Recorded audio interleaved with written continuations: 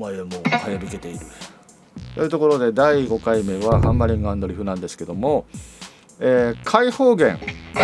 これを入れつつ、えー、5弦で EHP5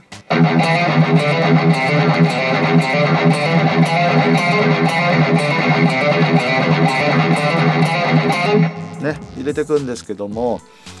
まあ基本的なメタルフレーズの中では、まあ、定番というか、あのそこまで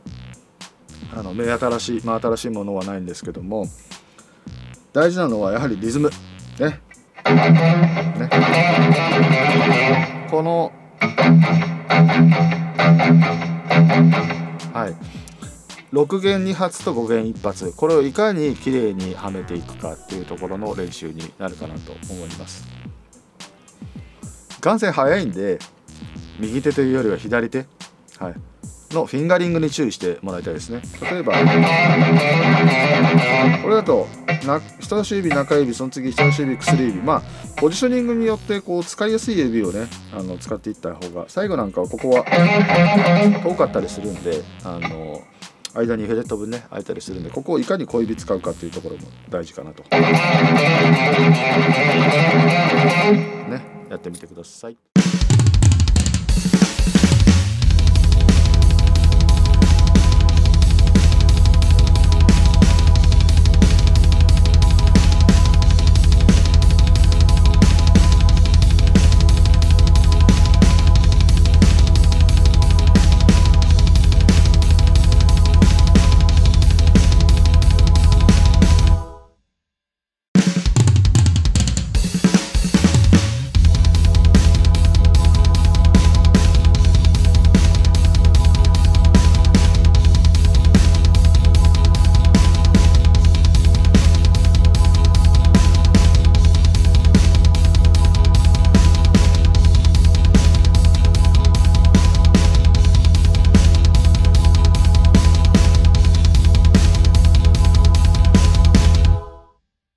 この動画がいいねと思った人はぜひ